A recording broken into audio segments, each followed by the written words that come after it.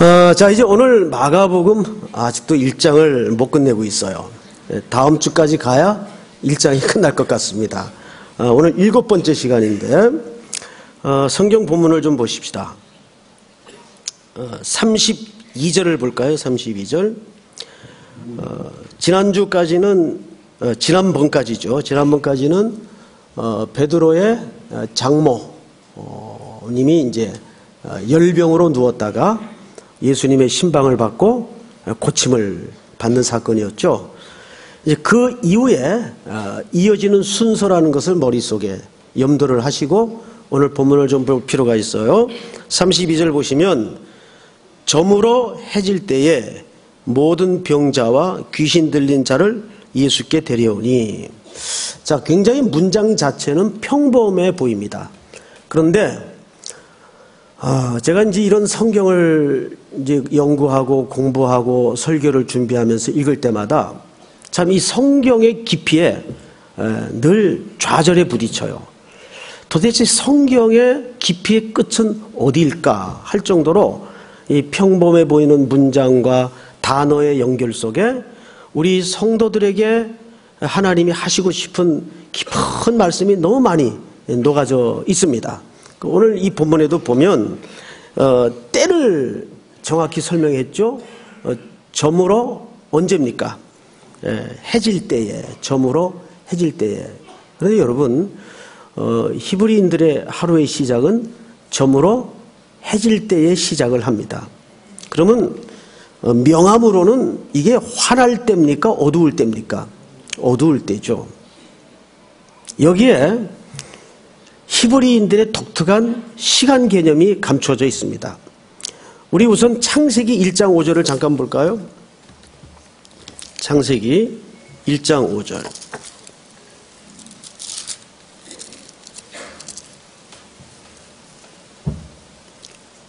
우리 찬양대가 한번 같이 읽겠습니다. 찬양대만 자 오케스트라 팀하고 시작. 하나님이 빛을 낮이라 부르시고 어둠을 밤이라 부르시니라. 저녁이 되고 아침이 되니 이는 첫째 날이니라.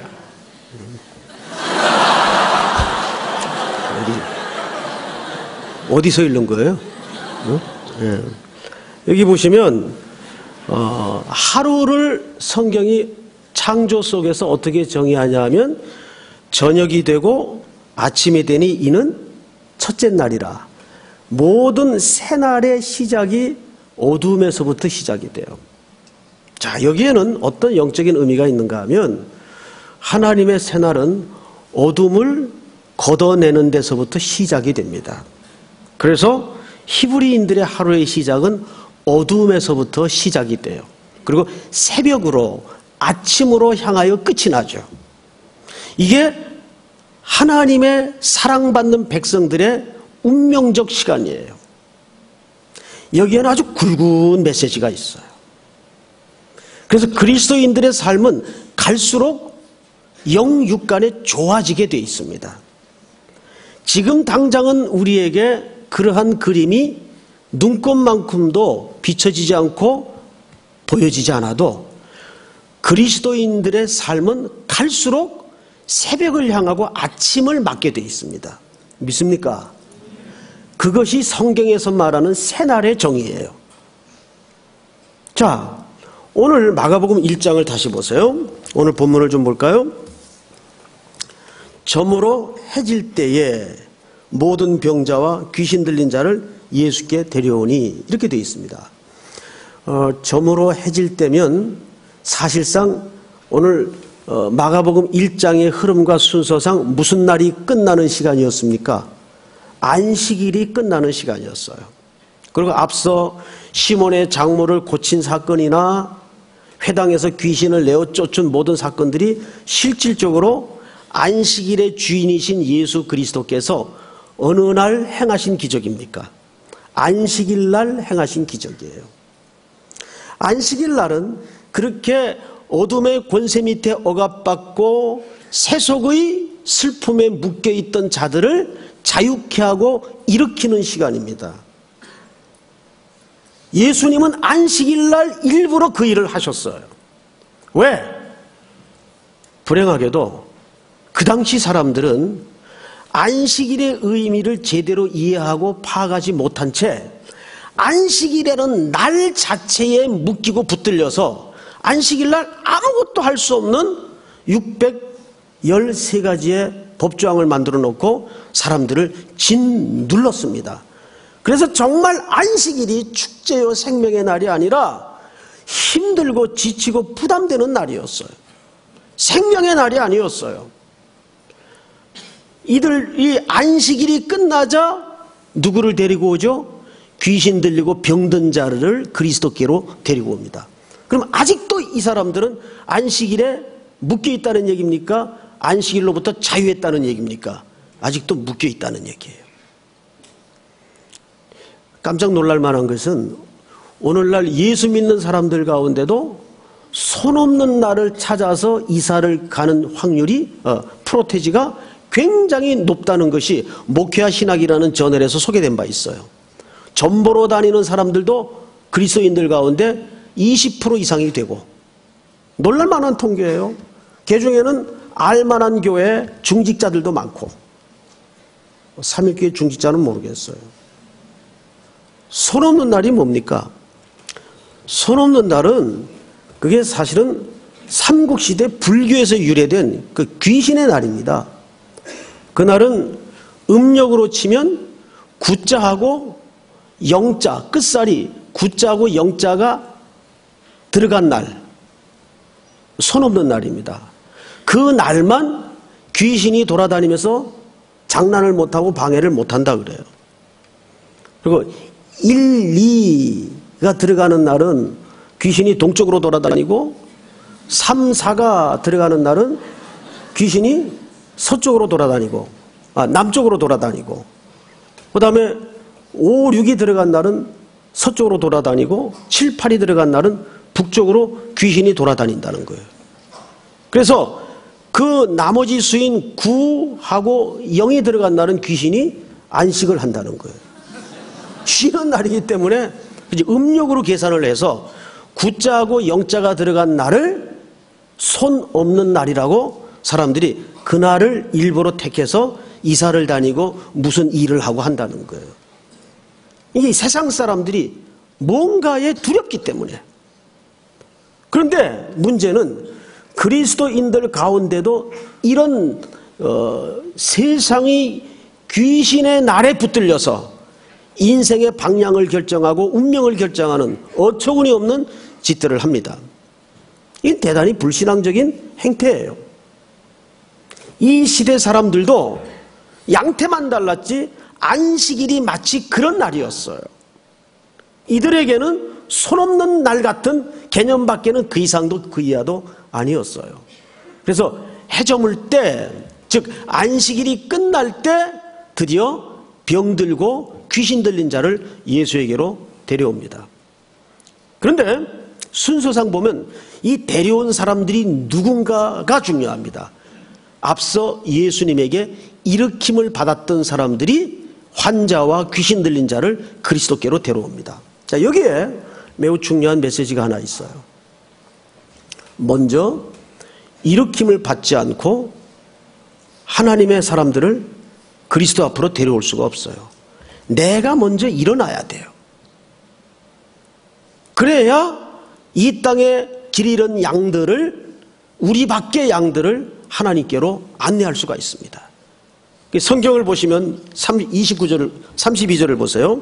점을, 점으로 해질 때 바로 이 시간이 안식일이 끝나는 시간이에요. 끝나기를 기다렸다가 모든 병자와 귀신 들린 자들을 먼저 일으킴을 받았던 사람들이 데려오는 거예요. 그런데 문제는 그들이 자유함을 얻고 치유함을 입었는데도 불구하고 아직 무엇에 붙들려 있는가 하면 날에 붙들려 있어요. 율례와 규례와 규범에 붙들려 있다는 얘기예요. 그러니까 예수 그리스도의 생명과 그 복음이 주는 힘을 아직도 온전히 깊숙이 경험하지 못한 거예요. 성경을 또 보십시다. 자, 33절 다 같이 읽겠습니다. 시작. 온 동네가 그 문 앞에 모였더라. 여러분 동네가 모일 수가 있어요? 여기 정확히 말하려면 뭐라 그래야 돼요? 온 동네? 그렇죠. 원래는 온 동네 사람이라고 해야 맞습니다. 그런데 성경 기자가 그걸 빼먹었나? 아니면 어떤 의도를 가지고 이렇게 썼나? 그게 중요하겠죠. 원래 직역을 하면 온 동네 사람들이 모였다고 해야 됩니다. 그런데 실수한 건 아니에요. 어떤 기록의 문학적 의도를 가지고 온 동네라고 의역을 했습니다. 근데 이 번역이 맞아요. 우리 한글 번역이 굉장히 잘 된 번역이에요. 근데 예를 들면 다른 번역서에는 그걸 또 제대로 번역을 한다고 온 동네 사람들이라고 써버렸어요. 그래서 여기서 말하고자 하는 의도를 그만 다 묻어버리고 말았어요. 그러면 우리가 조금 한 걸음 깊이 들어가서 온 동네가 모였다라는 말이 무슨 말일까? 자, 우선 동네는 우리 일상의 어떤 현장입니까? 동네. 동네는 이런 곳이죠. 어, 첫째, 동네라는 것은 어, 이미 관습이 녹아져 있어요. 그렇죠? 관습이 있고 이미 길이 있고 나름대로 제도가 있고 그 동네 문화가 있고 또 사람들의 독립 사람들의 삶의 뿌리가 있는 곳 거기가 동네예요. 맞죠? 근데 그 동네는 병이 들었어요. 병이 들었어요. 그래서 여기 동네 사람이라고 말하지 않고 동네라고 말한 것은 무엇과 대비시키기 위해서 이런 문학적 기법을 쓴 겁니다. 무엇과 대비시키고 싶었을까요? 광야입니다. 예수님은 동네에 가셨다가 또 퇴각을 하셔서 자주 어디로 가시죠? 오늘 본문에도 나옵니다. 어디로 가셨습니까? 광야로 나가셔요. 그래서 여기 보세요. 광야와 동네는 이 본문 속에서는 적어도 극적인 대조법으로 구분되어 기록이 된 겁니다.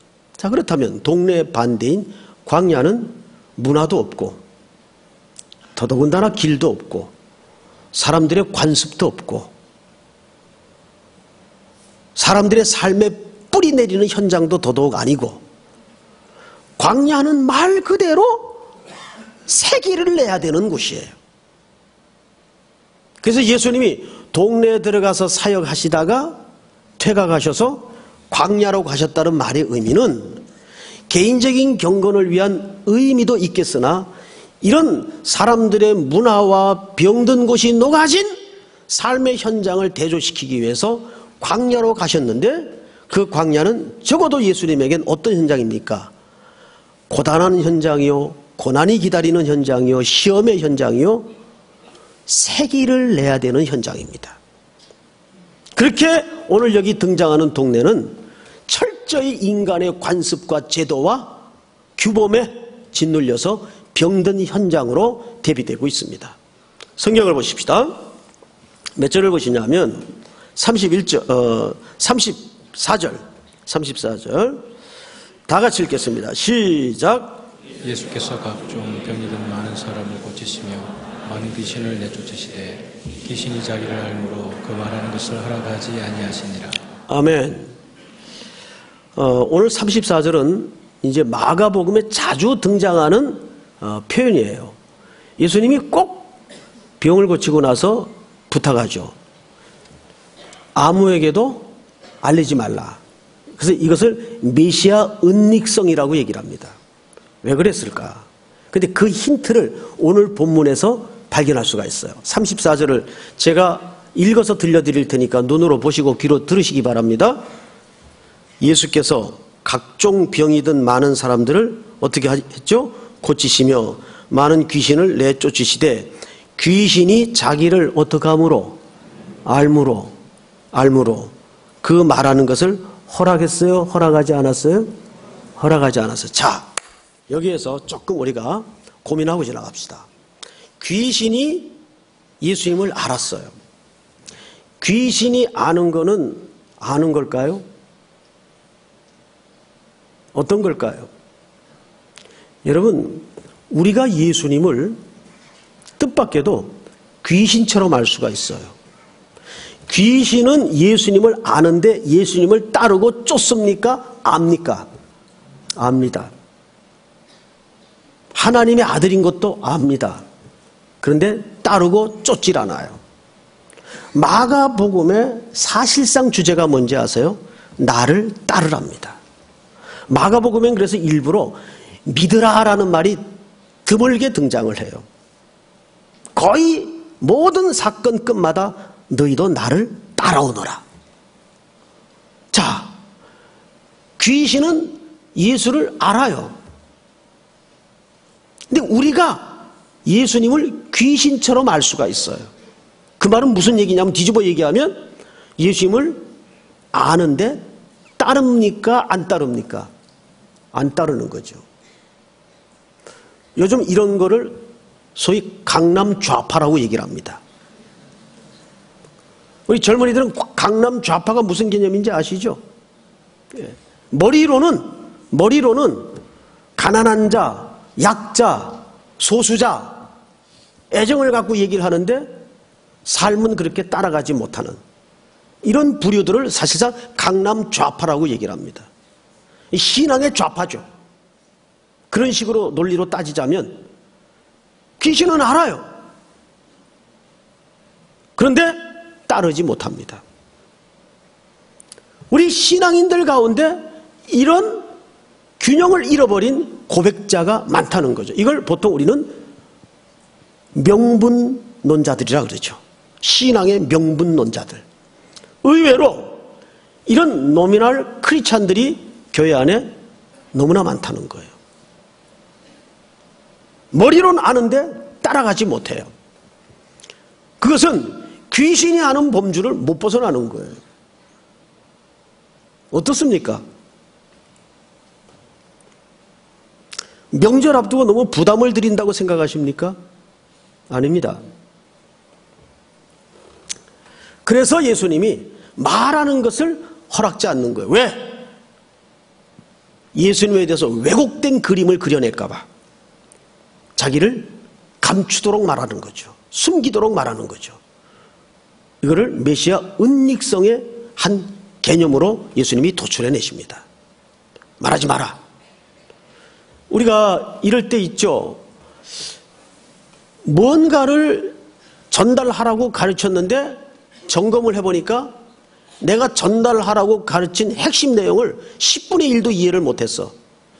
그러면 그래 그것만 잘 가서 얘기해라.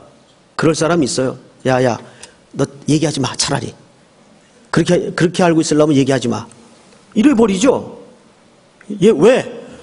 원래 전달하려는 메시지의 의도가 완전히 비틀려지고 어그러지고 잘못될 수 있기 때문에.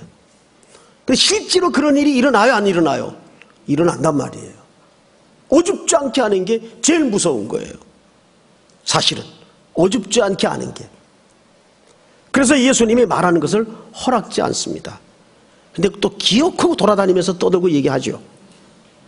얘기합니다. 자, 그 다음 절을 볼까요? 35절. 우리 한번 같이 읽겠습니다. 시작. 새벽 아직도 밝기 전에 예수께서 일어나 나가 한적한 곳으로 가서 거기서 기도하시더니 네. 여기 새벽이 아직 밝기 전입니다. 그이 말을 조금 더 여러분들 이해 속에 쉽게 전달을 하자면 이런 뜻이 됩니다. 오히려 어둠 안에 있는 새벽 시간에 그러니까 새벽이 아직 왔어요 안 왔어요? 아직 안 왔어요. 아직 새벽이라는 시간이 어둠에 갇혀 있어요. 다 그 시간은 뭐 하는 시간입니까? 잠들어 있는 시간이에요. 다 잠들어 있는데 홀로 깨어서 예수님이 그 어둠을 주시하는 겁니다. 그러니까 예수님이 여기 깨어 있는 것은 잠이 없어 깨어 있는 게 아니에요. 그런 명암이라는 구도를 통해서 예수님이 그 시대 어떤 마음을 품고 계신가를 기자가 설명하고 싶었던 겁니다. 시간은 아직 어둠에 쌓여 있었어요. 그런데 예수님은 새벽 아직도 밝기 전에 예수께서 일어나 나가 한적한 곳으로 가사. 그래서 우리가 매일 드리는 이 새벽 예배는 그런 의미에서 세상이 깨어나기 전에 그 어둠에 잠들어 있는 세상을 우리가 먼저 깨어서 통증과 아픈 마음을 가지고 주목하고 하나님 앞에서 길을 내는 시간이에요. 여러분, 길 없는데 걸어 다녀 보세요. 생고생을 합니다. 사륜차 가지고도 안 돼요. 빠지고 난리가 납니다. 이 세상은 오프로드예요. 길이 없어요. 그 길 없는 데를 우리는 뭘로 새길을 여냐 하면 예수님처럼 기도로 길을 매일 열어가는 겁니다. 그러다가 또 담이 막혀요. 여러분, 담에는 반드시 뭐가 있는지 아세요? 따라서 합니다. 반드시 문이 있다. 담을 담으로만 보시면 안 됩니다. 담이 있으면 그 담에는 반드시 문이 있습니다. 그 문을 뭘로 만드는 겁니까? 기도로 만드는 겁니다. 그래서 기도는 문을 내는 시간이요, 길을 닦는 시간이에요. 예수님이 한적한 곳에 가셔서 그 제도화된 동네를 떠나 깜깜한 광야에 뭘 내신 거예요? 길을 내신 거예요. 그런 의미에서 우리 모든 크리스찬들은 어둠에 잠겨 있는 새벽 시간에 깨어서 길을 내는 자들이어야 합니다. 그래야 후배들이 그 길을 따라서 먹고 살며 돌아오게 돼 있어요. 우리가 왜 나무를 심습니까? 후손들을 위해서 나무를 심는 거예요. 길을 내는 거예요. 길을 잘못 내면 다 죽어요. 특별히 말씀을 전하는 자들은 옳게 분별하며 네가 진리의 말씀을 옳게 분별하며 오르도 토메오라는 말은 로마 시대의 토목 공사용 단어였습니다. 똑바로 길을 내라 그 뜻입니다. 하나님의 말씀을 전파하는 자는 가장 중요한 일차적 직무가 길을 똑바로 내는 자예요. 목사가 얼굴 잘생기고 아주 친절하고 나이스하고 다재다능하고 족구도 잘하고 그러면 좋겠죠. 그러면 좋겠죠. 그런데 이것저것 다 못해도 하나를 잘해야 돼요. 이것저것 다 잘하는데 강단에 세워놓으면 성경하고 전혀 관계없는 얘기하고 인터넷 뒤진 얘기하고 잡지 뒤적거린 얘기하고 그런 설교는 5분에 3개씩도 만들어내요. 그건 길을 닦는 자로서의 자세가 아니죠. 그 길로 들어가 걷는 양들은 다 피폐해지고 죽는 거예요. 그래서 이거는 목사들에게만 해당되는 과제는 아닙니다. 적어도 말씀을 먼저 받은 하나님의 백성들이라면 전부 이 깜깜한 한적한 광야에 매일 나가서 길을 닦아야 돼요. 곡괭이 들고 삽 들고 매일 삽질을 하고 곡괭이를 찢고 길을 내야 돼요. 돌을 제거하고 그래서 뒤따르는 후배들이 그 길로 탄탄하게 잘 걸어올 수 있도록 그래서 그 길이 닦아지고 끝나는 그곳에 로마 제국이 만들어지는 거예요. 그래서 로마는 길을 닦으면 반드시 그 길 끝에는 로마의 제국이 형성이 되었어요. 이 중요한 개념이었어요. 그리스도인들이 길을 닦이며 가는 그 끝에는 반드시 하나님의 나라가 임해야 됩니다. 믿습니까? 이 제국의 개념이에요. 하나님의 제국과 세상 제국의 중요한 원리예요. 예수님이 그 일을 하신 거예요. 아직 어둠이 밝기 전에 깜깜한 세상에 그 어둠을 주시하시면서 기도로 길을 내시는 거예요. 여기 특별히 부모님들은 더 그런 영적인 부담감을 가지고 후손들을 위해서 우리 젊은 세대들을 위해서 길을 내는 깨어 있음이 있어야 됩니다. 믿습니까? 깨어 있어야 돼요. 그 깨어 있는 시간에 우리는 어둠을 주시하면서 길을 내는 자들입니다. 그 다음 보십시다. 그 다음에 36절, 36절. 다 같이 읽겠습니다. 시작. 및 그와 함께 있는 자들이 예수의 뒤를 따라가 자, 이런 이제 한글, 한글 성경을 읽다 보면 그 의미가 좀 불분명한 그 표현들이 있습니다. 그러니까 뒤를 따라가. 우리 한, 몇 군데만 좀 확인을 해 보십시다. 자, 1장 17절을 보세요. 예수께서 이르시에 나를 따라오너라. 따라오라는 말이 있죠? 네, 또 18절. 시작. 곧 그물을 버려두고 따르니라. 그러면 따라오라, 따르니라 라는 표현과 오늘 37절에, 아, 36절에 뒤를 따라가 이 말이 같은 개념인 것처럼 착각을 할 수가 있습니다. 그런데 이 세 문장은 다 달라요. 우선 앞에 17절, 18절은 큰 범주 안에서는 같은 개념인데 36절에 뒤를 따라가라는 말과는 달라요. 이 뒤를 따라가다라는 말은 이렇게 번역을 할 수가 있습니다. 어떻게 번역을 하냐면 어, 수색하고 쫓아가서 수소문하고 찾아 나섰다 그 말이에요. 찾아 나섰다. 여러분 그 다윗이 엔게디 광야에서 방황할 때 계속 다윗의 생명을 누가 수색했습니까? 사울이 쫓아다녔어요. 여러분 사람이 죽이려고 쫓아다니는 것만큼 정말 최고의 스트레스가 없어요. 끔찍해요. 사람한테 쫓겨봤나요? 음부의 자리를 펼지라도 내가 거기 있겠다. 이런 심정으로 쫓아다니면 스토커 한번 당해보셨나요? 스토커. 저는 스토커를 몇 번 당한 적이 있어요. 실제. 뭐 제가 뭐 유명해서가 아니라 조금, 어, 이렇게 의학적으로 문제가 있는 형제인데 그래서 가끔 우리 목사님들이 이제 제 주변을 좀 이렇게 따라다니는 경우가 있어요. 3일교회 와서도 그걸 제가 몇번 어, 아주 위험할 정도로 겪었던 적이 있습니다. 저희 집 전화번호도 다 바꿨어요. 뭐 한시고 두시고 전화를 하니까 견딜 수가 없는 거예요. 그게 다 바꿨어요.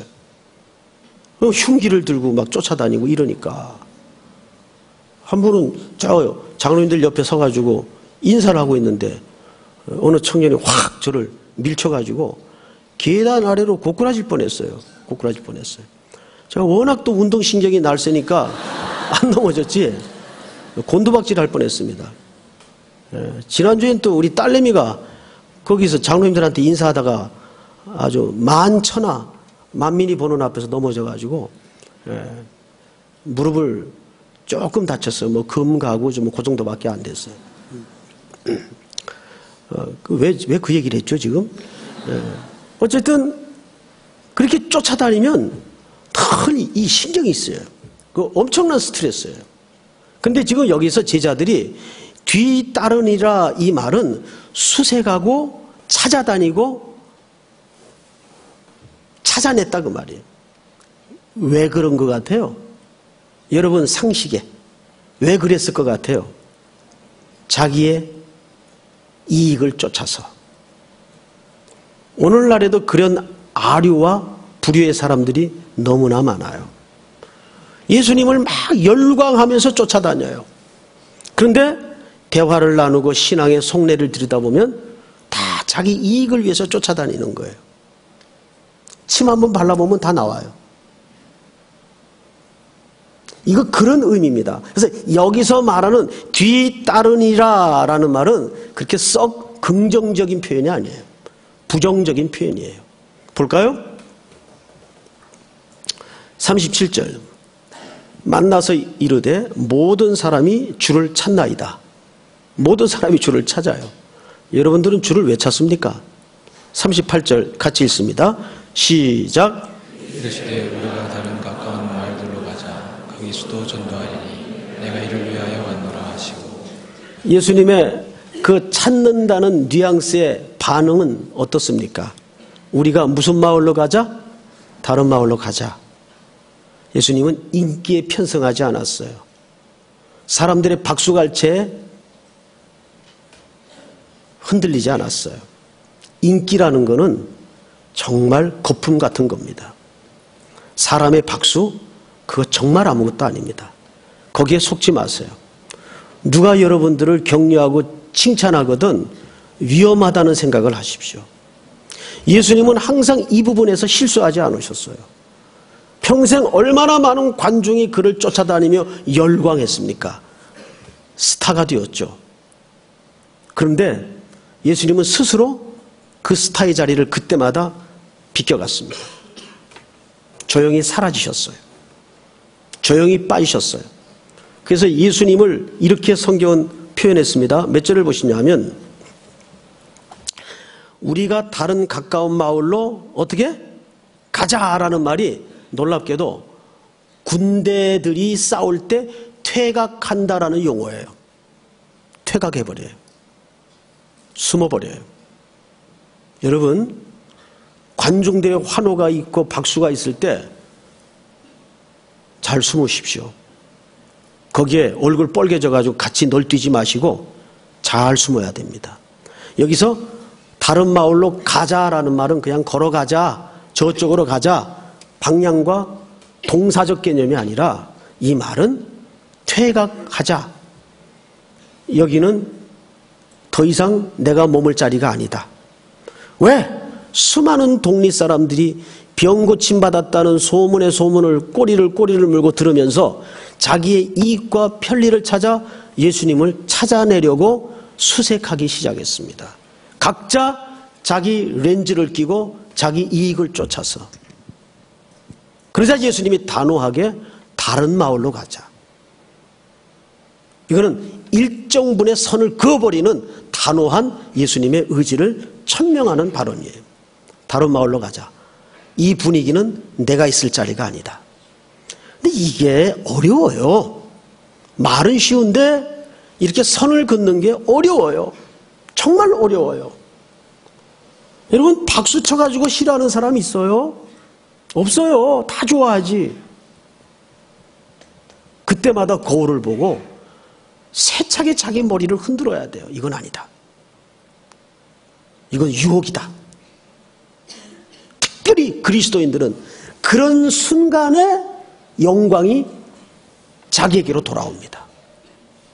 주님께 하나님께 돌려야 될 영광이 자기에게로 돌아와요. 이게 무서운 죄악에 스스로도 모르게 빠져버리는 거예요. 위험해요. 영적인 공동체는 모든 영광은 주께만. 믿습니까?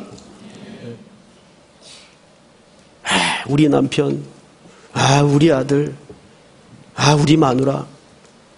속으로 하세요, 속으로. 내놓고 하지 마시고. 이상한 거는 막 사람의 너무 목을 매 있으면 하나님이 그 사람을 슬그머니 치워버려요. 이건 정말입니다. 정말입니다. 그래서 주님께 영광을 돌리는 문제와 주님을 사랑하는 문제는 칼로 선을 긋듯 정확해야 됩니다. 육정에 붙들려서는 안 돼요. 이거는 현실이에요. 매일 우리의 삶에 교묘하게 파고드는 유혹들입니다. 믿습니까? 자, 마지막으로 성경을 보십시다. 38절 이르되 우리가 다른 가까운 마을로 가자. 거기서도 뭐 하리니?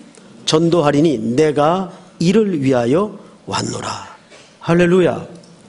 여기에서 예수님이 스스로 자신에 대한 정의, 내가 이 땅에 와야 했던 목적을 가장 정확히 선언하는 현장입니다. 내가 이 일을 위해로 왔다.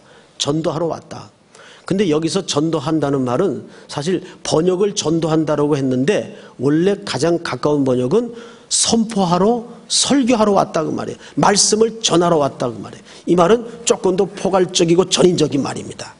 단순히 예수 믿으십시오. 내가 그리스도입니다. 이 말을 하러 왔다는 그런 전도나 선포나 설교의 개념을 뛰어넘는 전 삶을 두고 하는 얘기예요. 여러분, 선포는, 선교는, 전도는 전 인생을 걸고 하는 겁니다. 내 전 존재가 하나님의 선포요 메시지가 돼야 되는 거예요. 믿습니까?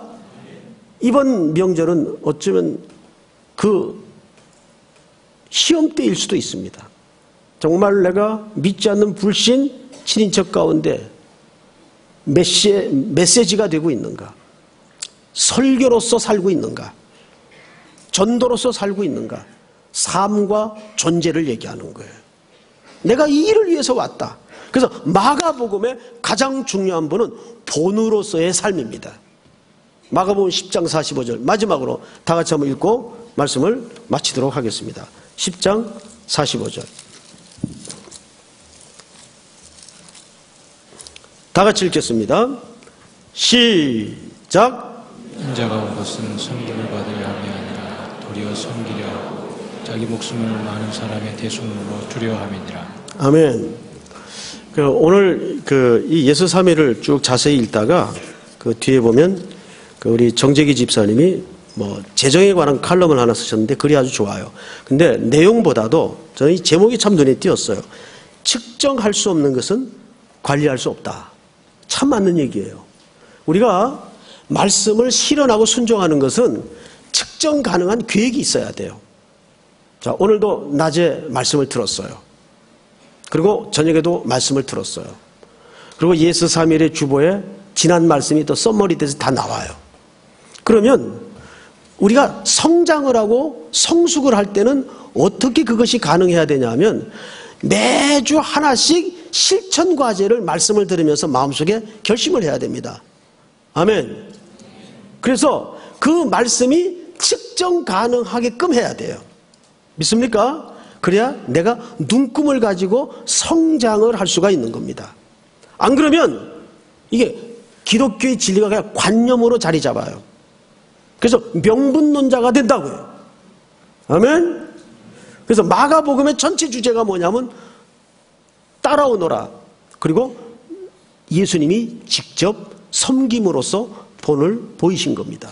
오늘도 이 저녁에 끝까지 남은 여러분들 체력이 좋아서 남으신 줄 아는데 아니죠? 체력이 좋아서 남은 게 아니라 오늘도 이 말씀 붙들고 한 주간 또 명절을 지내실 때 내가 이번 이번 명절에는 어떤 실천 과제를 측정 가능한 삶의 과제를 가지고 하나님 말씀대로 순종할 것인가를 각오하고 결심하고 결단해서 이번 명절 휴유증 없이 승리할 수 있기를 주의 이름으로 축복합니다.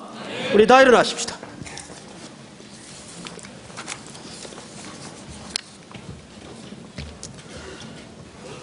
우리 찬양합니다.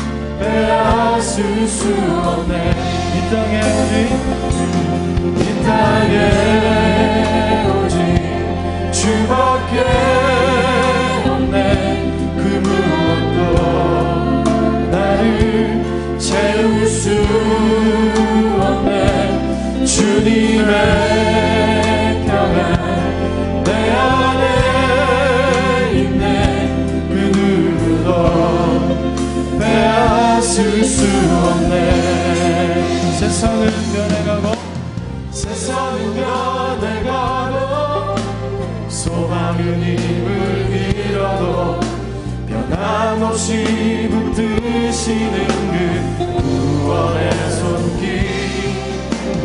폭풍이 몰려와도 두려움 물러가네. 우리를 위해 싸우시는 그 소중 의지에 이 땅에 오직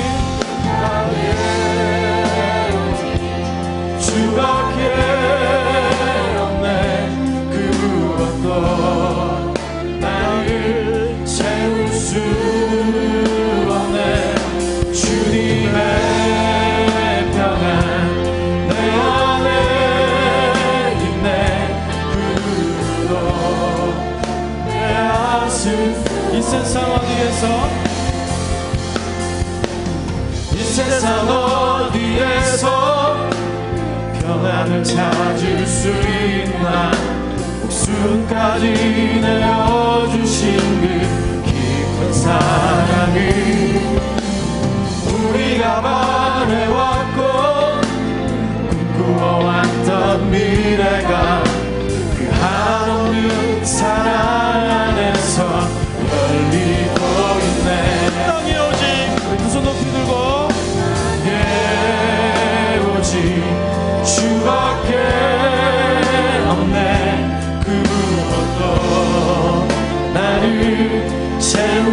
채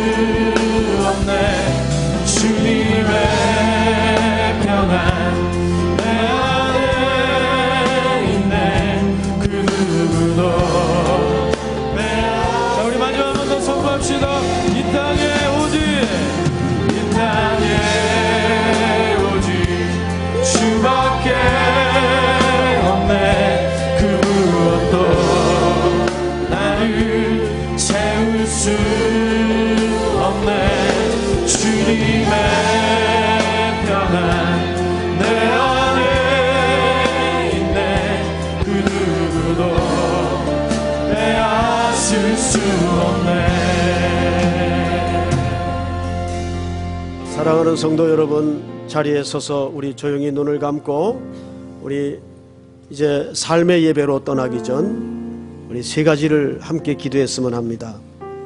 오늘도 이 강단에서 외쳐지고 선포되었던 그 말씀이 그냥 허공을 치는 말씀이 되지 않도록 도우시고 하나하나 우리의 삶 속에 실현되고 구체적으로 적용되어지고 순종되어지는 말씀이 될 수 있도록 도와주시옵소서. 또 이번 한 주간은 명절날 오랜만에 친인척들 부모님들을 찾아보게 됩니다. 어, 이번 기회에 믿지 않는 부모들에게 최고의 선물 예수 그리스도를 증거할 수 있는 선포의 기회가 되도록 은혜를 주시옵소서. 예수 믿는 사람의 인생의 본분은 전도하는 겁니다. 전해야 됩니다. 최고의 효도는 예수 믿게 하는 겁니다. 부모님에게 영원한 삶을 소개하는 일입니다. 믿습니까? 이 일을 위해서 기도해 주세요. 남은 대만 선교 그리고 군선교, 수도권 선교 그리고 캄보디아, 미얀마 이 모든 일정 아직 끝나지 않았습니다. 우리가 한 두 텀을 쉬지만 이 모든 일정이 마쳐질 때까지 잘 준비되어 온 땅에 그리스도의 복음의 깃발이 승리롭게 펄럭일 수 있도록 은혜를 주시옵소서. 우리 힘을 내서 마지막으로 주여 부른 다음에 기도합니다. 주여!